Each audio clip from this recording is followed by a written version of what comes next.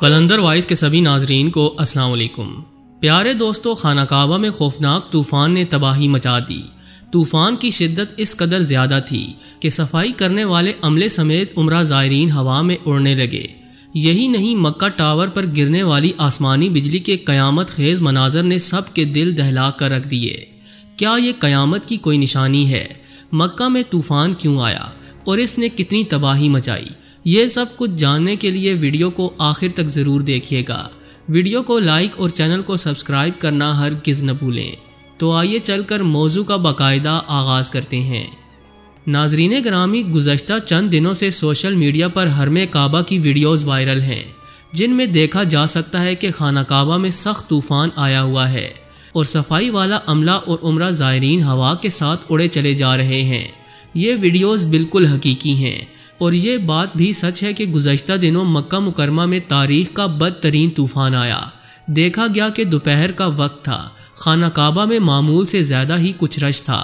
कुछ लोग इबादत में मशगूल थे और कुछ खाना काबा का तवाफ़ कर रहे थे कि अचानक से आसमान पर काले बादल छाने लगे। हालाँकि कुछ देर पहले धूप थी, दिन भी काफ़ी रोशन था। बस एकदम से ही मौसम ने करवट ली और काले बादल आसमान पर छाने लगे।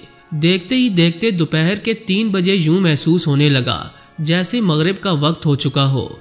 लोग अभी मौसम के तेवर को समझ ही रहे थे कि इन पर मिटियाले से रंग की धूल सी उड़ने लगी। आंधी का तूफ़ान आने लगा। आंधी में इस कदर मट्टी थी कि लोगों की आँखों में जा रही थी। हवा में इस कदर धूल मट्टी थी कि लोग समझ नहीं पा रहे थे कि खड़े कैसे हों। इस हवा की आंधी के तूफ़ान से ही लोग संभल नहीं पाए थे कि अचानक से मूसलाधार बारिश शुरू हो गई। बारिश इस कदर तेज और तूफानी रूप धार चुकी थी कि लोगों में हलचल मच गई। एक अफरा तफरी खाना काबा में देखने में नज़र आई। लोग इधर उधर भागने लगे। खाना काबा में पानी जमा होने लगा। लेकिन फिर भी लोगों के दिलों में ईमान की शम्मा ऐसे रोशन थी। कि तवाफ़ काबा में ज़रा भी कमी ना आई, बल्कि लब बैक अल्लाहुम्मा लब बैक की सदाएँ बुलंद होने लगी। सुबहान अल्लाह दोस्तों, अगर आप इन वीडियोस को गौर से देखें तो मालूम होता है कि यह कोई मामूली तूफ़ान नहीं था। यह तूफ़ान अल्लाह की जानब से वार्निंग है कि इंसान अब भी संभल जाए और अल्लाह के अहकाम पर अमल पैरा हो। सऊदी हुकाम ने इस तूफ़ान को मक्का मुकरमा की तारीख का बदतरीन तूफ़ान करार दिया। क्योंकि इससे कबल मक्का मुकरमा में इतना खौफनाक तूफ़ान नहीं आया था, जबकि मक्का टावर पर आसमानी बिजली गिरने के मनाजर ने सबको खौफजदा कर दिया। आप वीडियो में देख सकते हैं कि कैसे आसमानी बिजली मक्का टावर के टॉप पर लगे चाँद से टकरा रही है और एक अजीब सा सहर अंगेज मंजर देखने को मिल रहा है। मक्का में आने वाले शदीद तूफ़ान और आसमानी बिजली को कयामत की निशानी के तौर पर भी देखा जा रहा है। बेशतर उलमा इसको अल्लाह की वार्निंग और क़यामत की निशानी बताते हैं। अगर इस्लामी कुतब का मुताल किया जाए तो ये मालूम होता है कि क़यामत की अलामत अम्बिया सबकीन ने भी अपनी अपनी उम्मतों को बताई और रसूल अक्रम वसल्लम के बाद कोई नया नबी नहीं आने वाला था। इसीलिए आप सल्लल्लाहु अलैहि वसल्लम ने इसकी अलामत सबसे ज़्यादा तफसील से इरशाद फरमाई, ताकि लोग योम आखरत की तैयारी करें, आमाल की असलाह कर लें और नफसानी ख्वाहिशात लज्जात में इनमाक से बाज आ जाएँ। आप अलैहि वसल्लम सहाबा कराम को इनफरादन और इज्तमान कभी इख्तिसार और कभी तफसील से इन अलामत की तालीम फरमाते। आप अलैहि वसल्लम ने इनकी तबलीग का कितना अहतमाम फरमाया। इसका अंदाज़ा अहदीस की कुतब पढ़ने से मालूम होता है। हजूर अक्रम अलैहि वसल्लम के सहाबी अबू नवीद रज़ी अल्लाह फरमाते हैं कि रसूलुल्लाह सल्लल्लाहु अलैहि वसल्लम ने हमको फजर की नमाज़ पढ़ाई और मिंबर पर चढ़कर हमारे सामने खुतबा दिया। यहाँ तक कि जोहर की नमाज़ का वक्त हो गया। बस आप सल्लल्लाहु अलैहि वसल्लम ने उतर कर नमाज़ पढ़ी, फिर मिंबर पर तशरीफ़ ले गए और हमें खुतबा देते रहे। यहाँ तक कि असर का वक्त हो गया। फिर आप सल्लल्लाहु अलैहि वसल्लम ने उतर कर नमाज़ पढ़ी और फिर मिंबर पर तशरीफ़ ले गए और हमें खुतबा देते रहे। यहाँ तक कि आफ्ताब गरूब हो गया।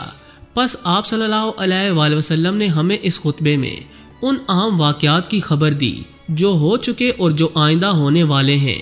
बस हम में से जिसका हाफजा ज़्यादा कवि था, वही इन वाक़ात को ज़्यादा जानने वाला है।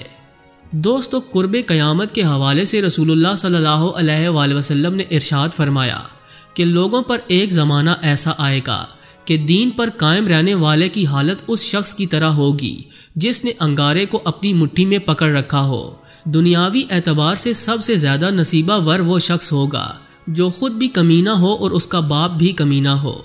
लीडर बहुत और अमानतदार कम होंगे। कबीलों और कौमों के लीडर मुनाफिक, जलील तरीन और फासिक होंगे। बाजारों के रईस फाजर होंगे। पुलिस की कसरत होगी, जो जालमों की पुष्ट पनाही करेगी। बड़े बड़े अहदे नाअहलों को मिलेंगे। लड़के हुकूमत करने लगेंगे। तिजारत बहुत फैल जाएगी। यहाँ तक कि तिजारत में औरत अपने शोहर का हाथ बटाएगी। मगर कसाद बाजारी ऐसी होगी कि नफ़ा हासिल नहीं होगा। नाप तोल में कमी की जाएगी। लिखने का रवाज बहुत बढ़ जाएगा। मगर तालीम महज दुनिया के लिए हासिल की जाएगी। कुरान को गाने बाजे का आला बनाया जाएगा। रिया, शोहरत और माली मनफियत के लिए गा गा कर कुरान पढ़ने वालों की कसरत होगी और फुकाहा की किल्लत होगी। उलमा को कत्ल किया जाएगा और उन पर ऐसा सख्त वक्त आएगा कि वो सुर्ख सोले से ज़्यादा अपनी मौत को पसंद करेंगे। इस उम्मत के आखिरी लोग पहले लोगों पर लानत करेंगे। अमानतदार को खाइन और खाइन को अमानतदार कहा जाएगा। झूठे को सच्चा और सच्चे को झूठा कहा जाएगा। अच्छाई को बुरा और बुराई को अच्छा समझा जाएगा। अजनबी लोगों से हुसन सलूक किया जाएगा और रिश्तेदारों के हकूक पामाल किए जाएँगे। बीवी की अतात और माँ बाप की नाफरमानी होगी। मस्जिदों में शोर गुल और दुनिया की बातें होंगी। सलाम सिर्फ़ जान पहचान के लोगों को किया जाएगा। तलाकों की कसरत होगी। नेक लोग छुपते फिरेंगे और कमीने लोगों का दौर दौरा होगा। लोग फ़ख्र और रिया के तौर पर ऊँची ऊँची इमारतें बनाने में एक दूसरे का मुकाबला करेंगे। शराब का नाम नबीज सूद का नाम बई और रिश्वत का नाम हदिया रख कर इन्हें हलाल समझा जाएगा। सूद, जुआ, गाने बाजे के आलात शराब खोरी और जिना की कसरत होगी। बेहयाई और हरामी औलाद की कसरत होगी। दावत में खाने पीने के अलावा औरतें भी पेश की जाएँगी। नागहानी और अचानक अमवात की कसरत होगी। लोग मोटी मोटी गदियों पर सवारी करके मस्जिदों के दरवाजों तक आएँगे। इनकी औरतें कपड़े पहनती होंगी। मगर लिबास बारीक और चुस्त होने के बायस वो नंगी होंगी। इनके सर बख्तनी ऊँट के कोहान की तरह होंगे। लचक लचक कर चलेंगी और लोगों को अपनी तरफ़ मायल करेंगी। ये लोग न जन्नत में दाखिल होंगे और ना ही इसकी खुशबू पा सकेंगे।